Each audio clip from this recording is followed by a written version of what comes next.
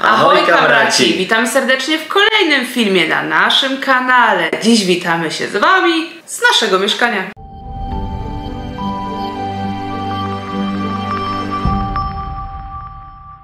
Ale zanim powiemy Wam, o czym będzie dzisiejszy odcinek, chociaż pewnie większość z Was i tak się domyśla, to koniecznie zostawcie łapki w górę, zaznaczcie subskrypcję, zaznaczcie dzwoneczek, bo przygód dalej będzie, myślę, sporo, więc naprawdę warto zasubskrybować. Szykuje nam się teraz pewien plan, o którym Wam dopiero opowiemy w następnym odcinku, tak myślę, ale dziś przychodzimy do Was z filmem, na który czekało sporo osób, bo bardzo lubicie słuchać o tym, jakie są koszty, jakie ponosimy podczas naszej podróży, po to, żeby na przykład zaplanować sobie jakiś e, swój po prostu własny wyjazd, albo mniej więcej wiedzieć, na co się szykować, będąc w danym kraju. Jak zauważyliście pewnie, dzisiaj mamy troszeczkę inaczej kamerę, bo mamy dwie kamery. Testujemy sprzęt telefoniczny po raz pierwszy. Ta boczna kamera jest nagrywana telefonem, więc zobaczymy jak to wyjdzie. Szukamy jakichś innowacji, szukamy nowości, żebyście też mieli coś nowego, świeżego na tym kanale. Chcemy się rozwijać. No i tak naprawdę to dzisiaj sami się dowiemy, ile kosztowała nas ta podróż, te 9 miesięcy, dlatego że w sumie nie podliczaliśmy całości, zrobimy to z Wami na wizji. Mamy wszystko rozpisane, kalkulator jest w telefonie, więc myślę, że możemy zaczynać. Zanim podsumujemy sobie całość, to przejdźmy jeszcze na chwilę do Kazachstanu. Była to ostatnia, ostatnie państwo, które zwiedzaliśmy i nie podsumowaliśmy tutaj kosztów z tego względu, że byliśmy tam krótko, więc zróbmy to teraz. To będzie naprawdę bardzo, bardzo pokrótce, tak żebyśmy mogli sobie dołożyć to do łącznej kwoty, jaka nam wyszła za tę długą podróż dziewięciomiesięczną. Dobra, mamy tutaj rozpiskę i sprawdzimy, to wyszło. Co do lotu, to jeżeli oglądaliście, a jak nie, to wróćcie do odcinka z Kazachstanu. Yy, Lecieliśmy z Seulu, czyli z Korei Południowej. Nasze bilety kosztowały 2305 zł za dwie osoby, plus bagaż rejestrowany duży. A w zasadzie to dwa bagaże. No tak, bo dokupowaliśmy torbę. Tak, bo myśmy z Korei, w Korei nakupowaliśmy wiele różnych przedmiotów, więc trzeba było gdzieś się spakować, typu maseczki i tak dalej. My o tym opowiadaliśmy, także się cofnijcie do kolejnego filmu, do kolejnego filmu. Cofnijcie się do poprzedniego filmu, do filmu z Korei, tam pokazywaliśmy parę rzeczy, które kupiliśmy, także do tego była nam potrzebna torba. Bilety 2305 zł. Jak mamy bilety, to i trzeba gdzieś spać. No i tutaj spaliśmy u Sergieja. Jeżeli nie widzieliście, też koniecznie zobaczcie ten W pierwszym odcinek. odcinku z Kazachstanu pokazujemy, gdzie spaliśmy. Kazachska sznytka, jeśli ktoś był z nami od Kazachstanu, no to wie o czym mowa. Kazachski vibe. Ten nocleg kosztował nas 850 zł. Tu było 6 nocy dokładnie. Bardzo miłych, sympatycznych, więc doliczamy to do kosztów już od razu. Czyli mamy 3155 zł. Jak dobrze wiecie, musieliśmy też z lotniska dojechać do kwatery, no i wrócić na lotnisko. Z tego co sprawdziłem, wyszło nas w dwie strony około 70 zł. Dopisuję. No i też oczywiście nie mogło się obejść bez internetu. Internet nie był jakiś drogi. Wyszło nas około 5000 tenge, jeżeli dobrze pamiętam, czyli jakieś 40 zł za internecie. Mamy w tym momencie 3265 zł. Od razu mówimy, że my się nie rozpisujemy tutaj za bardzo z tymi kosztami kazachskimi, bo spędziliśmy tam troszkę mało czasu. To był w sumie taki kraj przesiadkowy, wiecie, w drodze powrotnej. Myślę, że jeszcze jakiś taki osobny film mógłby powstać, ale musielibyśmy wrócić po prostu do Kazachstanu i spędzić tam trochę więcej czasu, żeby lepiej to oszacować, bo wiecie, to był powrót, to był chaos, więc jedyne co możemy zrobić to dopisać to po prostu do tych kosztów powrotnych i do kosztów naszej całej podróży. Bo tak jak patrzyłem z Revoluta, to wychodzi na to, że wybraliśmy tam pieniążków około 800 zł. Także dodaję tutaj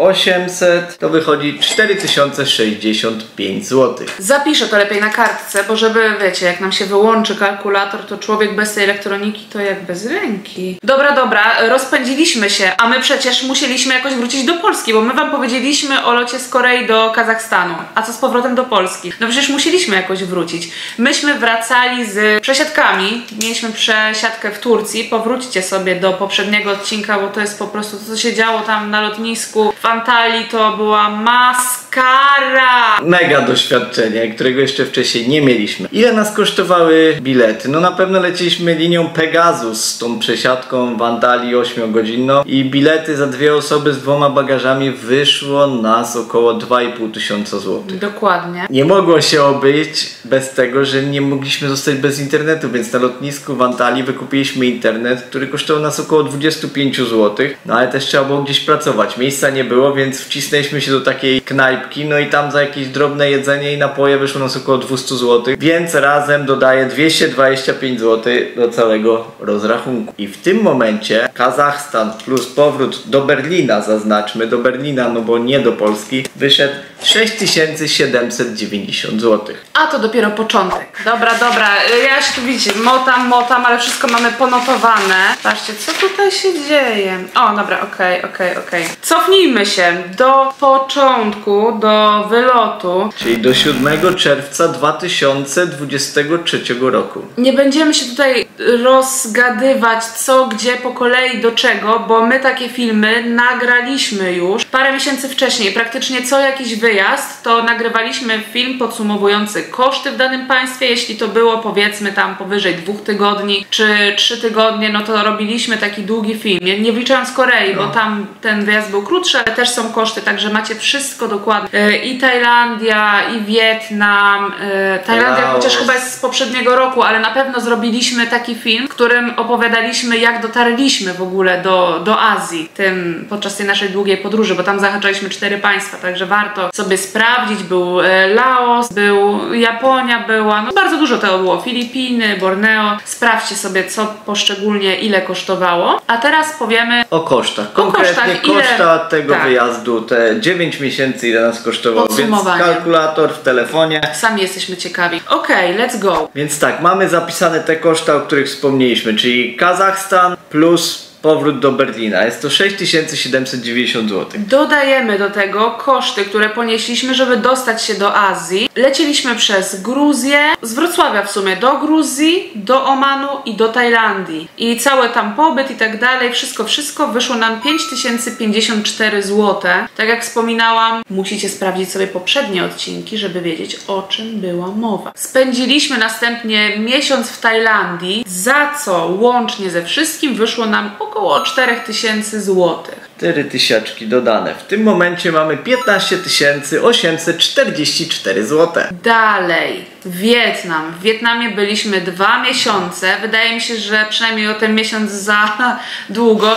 Nie byliśmy jeszcze gotowi do końca na ten Wietnam, o czym opowiemy myślę, że w następnym odcinku, takim podsumowującym nasze wrażenia, jak to było, czy było fajnie, czy nie. No tak jak słyszycie, różnie było. W każdym bądź razie, jeśli chodzi o te koszty poniesione w Wietnamie, było to około 13 tysięcy złotych. No te dwa miesiące, które tam spędziliśmy. W tym momencie jest 28 844. Okej, czyli mamy jakieś 3, 3 miesiące ponad podróży. No i następnym etapem była Tajlandia ponownie i to był grudzień święta. Tak, wróciliśmy do Tajlandii, mieliśmy tutaj specjalną misję do zrealizowania. Serdecznie pozdrawiamy Adriannę i Dawida. Razem spędzaliśmy wtedy bardzo fajny czas. Tutaj mamy koszty trochę większe, jako że to był grudzień. Wiecie, grudzień to jest taki sezon, kiedy jednak dużo turystów do Tajlandii przybywa, więc e, koszty się automatycznie powiększają jeszcze o 100% i rzeczywiście tak nam wyszło, bo za miesiąc tym razem zapłaciliśmy około 7800 zł za, za dwie osoby. No i tutaj była też dużo, dużo aktywności, bo się przemieszczaliśmy, tak?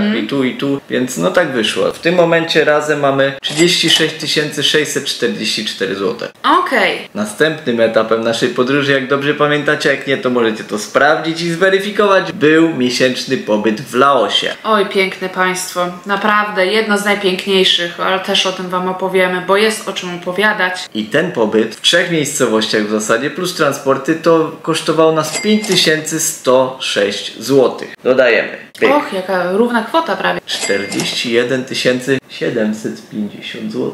Robi się Nieźle, ale mamy tutaj raz, dwa, trzy, cztery, już pięć miesięcy, prawie pół roku. Więc prawie pół roku to jest ponad 41 tysięcy, ale na tym jeszcze się nie zamknęliśmy, Nie. bo lecieliśmy dalej. Powrót do Tajlandii po raz trzeci. I to- Jakoś tak zawsze jest, że wracamy do tej Tajlandii. e, Trochę na pewien czas przestajemy się z nim lubić, później znowu się okazuje, że ją lubimy. Wiecie, mamy taki, taki różny vibe e, ostatnio z tą przyciąga. Tajlandią, ale coś na, cały czas nas przyciąga. No i fakt, że jest to też fajne centrum e, i takie bezpieczne centrum w porównaniu do innych tych krajów, gdzie rzeczywiście można trochę odpocząć przed dalszą podróżą, dlatego wróciliśmy. I tutaj znów koszty były troszkę większe jak za tą pierwszą Tajlandią, ale to też z tego względu, że znów był sezon ferii zimowych, więc ferie zimowe też e, turystów znacznie więcej przybywa, ale już nam koszty mniejsze wyszły z tego względu, że trochę mniej się też przemieszczaliśmy. Wyszło nam za miesiąc w Tajlandii kolejny 5150 zł. Tak, wiecie, pi razy oko. I tutaj taka ciekawostka, jeżeli tego nie widzieliście, możecie to sprawdzić, bo my do Tajlandii przejechaliśmy za 25 zł od osoby.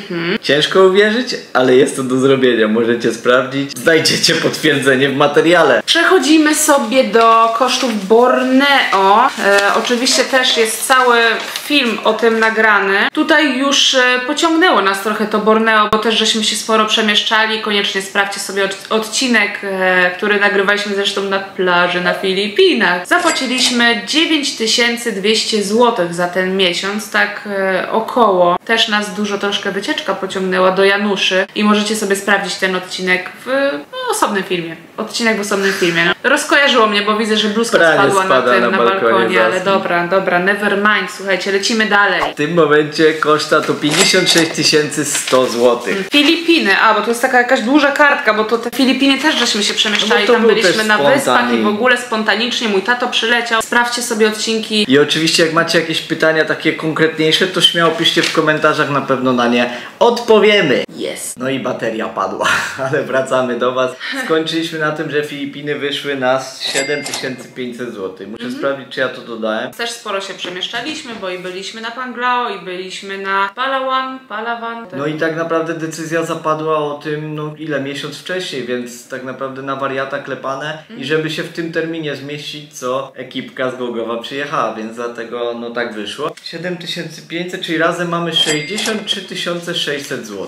Okej, teraz przechodzimy do y, bardzo roztrzęsionej części, czyli, czyli na Tajwan z Filipin. Polecieliśmy do Tajwanu, spędziliśmy tam 10 nocy, bardzo roztrzęsionych, a dlaczego to sobie wróćcie do poprzednich odcinków. Tutaj wydaliśmy około 2638 zł na te 10 nocy. Jako, że byliśmy już całkiem blisko Japonii, a kiedyś nam się tak marzyło, żeby tam polecieć, a że teraz Złożyło się to w całość, że było Tak. sensownie, żeby tam ale polecieć. też dobrze i- kurs stoi, o to mi chodziło. Niski kurs Japonia waluty, dosyć no. się taka przystępna zrobiła cenowo, więc stwierdziliśmy, ok, lecimy, bo nie wiadomo ile to potrwa, wykorzystamy po prostu tę okazję. W Japonii spędziliśmy 3 tygodnie. Szczerze mówiąc, chcieliśmy być tam więcej, bo jest taka możliwość, żeby siedzieć nawet 90 dni w Japonii, tylko myśmy nie wiedzieli, że te ceny się zrobiły takie przystępne, dlatego myśleliśmy, że będzie po prostu drogo. Stwierdziliśmy, że dobra, zostajemy 3 tygodnie, ale Japonia jest na tyle urzekająca, że pewnie wrócimy za jakiś czas. No, no było mega. Mimo to i tak wyszło sporo, ale to też dlatego, że po pierwsze się przemieszczaliśmy, a po drugie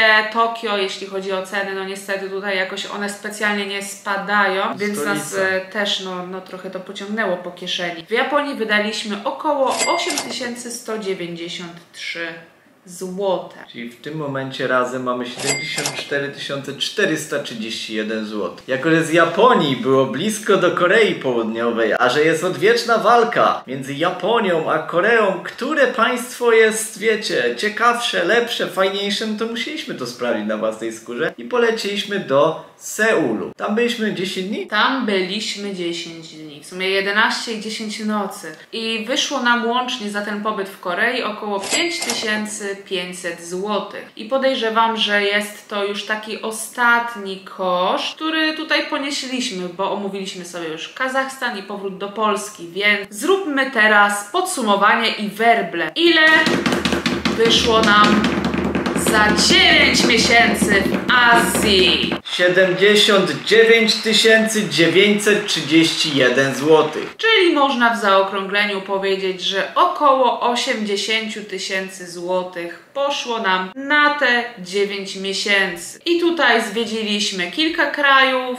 i przemieszczaliśmy się naprawdę bardzo wiele. I tak, zobaczyliśmy sobie Tajlandię trzykrotnie, bo spędziliśmy łącznie 3 miesiące w Tajlandii, 2 miesiące w Wietnamie, pobyt w Laosie miesięczny, mieliśmy pobyt na Borneo miesięczny, na Filipinach miesięczny, spędziliśmy ładnych parę dni w Korei Południowej, w Japonii, Tajwanie i Kazachstanie. Do tego po drodze jeszcze mieliśmy Gruzję i Oman, więc sporo było tego. Lotów było chyba 38, jak dobrze pamiętam? Coś w granicy 40 lotów, do tego statki, do tego jakieś pociągi, autobusy, busy, tuktuki, no riksze, nie riksze, pełno tego było naprawdę wszędzie. Myślę, że jeszcze tak sobie bardziej o naszych wrażeniach pomówimy w następnym odcinku po prostu. Jest to taki koszt, który mniej więcej możecie szacować sobie, jeśli też szykujecie się na jakąś taką grubszą podróż po tamtej części. Teraz nie, nie będę pokazywać, chciałam pokazać, ale po tamtej części e, globu. Nad twoją głową. Nad moją głową zasłoniłam. Nie, tam zasłoniłam Australię chyba. No ale tam wyżej.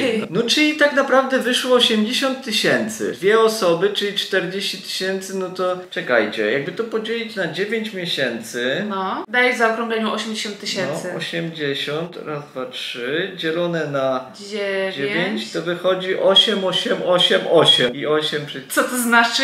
Nie wiem, same ósemki, czyli na pół to dzieląc, to będzie jakieś 4, 4, 4, 4, 4. same czwórki i ósemki, czyli tak naprawdę 4,5 tysiąca na osobę na miesiąc życia, życia. Na miesiąc życia, nie no, życia. Mhm. Podróżowania i życia, czyli całościowo, czyli tak naprawdę Tak, bo my tutaj, wam, no, no i wszystko naprawdę wliczamy. Jakieś atrakcje, noclegi, e, ubezpieczenia, Jedzenie, jedzenia awarie. atrak- no wszystko, wszystko, naprawdę wszystko tutaj już wliczyliśmy, Paliwo, więc... Mhm. wynajem skuterów, gdzieś przejazdy, także totalnie, totalnie wszystko się na to i, składa. I nie było tu czegoś takiego, że nie wiem, głodowaliśmy albo spaliśmy w jakiejś dziurze czy coś. Nie, to było takie po prostu normalne życie plus zwiedzanie całkiem intensywne, o czym możecie się przekonać też w całej tej naszej serii. Oczywiście możecie to zrobić za połowę tej ceny, możecie spać w hostelach, namiotach, nie wiem, no w różnych tego typu obiektach. My nie możemy ze względu na pracę, ale też możecie to zrobić 10 razy drożej. Możecie Oj, wybierać y,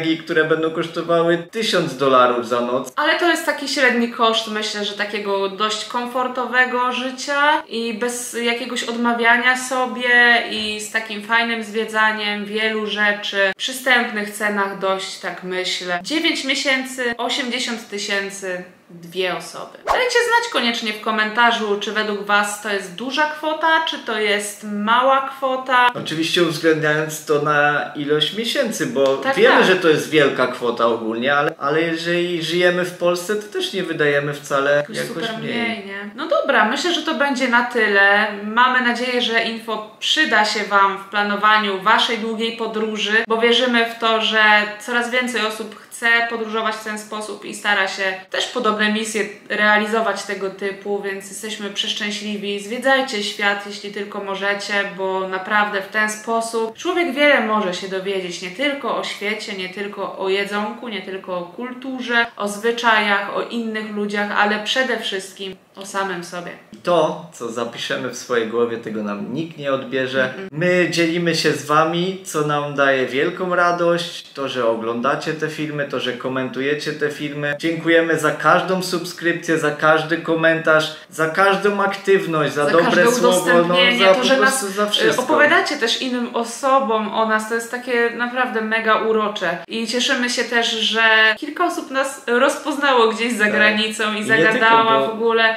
To, to super to było I, i w Polsce też tutaj czasem gdzieś na Was wpadniemy i jest tak miło. My bardzo lubimy z Wami rozmawiać, więc też się nie, nie bójcie, żeby nas zaczepiać, bo my, my lubimy rozmawiać. No i oczywiście też dziękujemy za każdą wirtualną kawkę. Jak możecie sprawdzić na Namaste. materiałach, walizkę kupiliśmy na przykład za te pieniążki, jak nam się rozsypała w Tajlandii. Jest to też dla nas duże wsparcie. Nie Myślę. możemy się doczekać żeby jeszcze podsumować ten wyjazd O, tak, od strony nasze wrażenia. wrażeń, Mhm. emocji i tego, co nam dostarczył, więc to będzie w kolejnym odcinku. A dzisiaj kończymy. Tak naprawdę nie możemy zostawić Was bez hasła odcinka, no, No, bo właśnie, było... no jak to? Hasło odcinka no musi być. Mimo, że jesteśmy teraz już w domu, to przecież hasło odcinka musi być zawsze. Żeby było podchwytliwie, napiszcie Cztery ósemki. Cztery ósemki. A jak to zapiszecie, to już jest wasza wena. Nie zapomnijcie oczywiście, żeby zostawić łapki w górę, żeby zostawić nam e, komentarz, najlepiej o treści takiej, o której wspomnieliśmy. Chyba, że chcecie napisać coś innego, macie może jakieś pytania czy coś, to koniecznie tamta sekcja to jest dla was. Piszcie, piszcie, a my bardzo chętnie wam odpowiemy na każde, każde pytanie. No i oczywiście zasubskrybujcie ten kanał, jeżeli tego jeszcze nie robicie. Tymczasem my śmigamy nagrywać kolejne materiały i do zobaczenia wkrótce. Ahoj!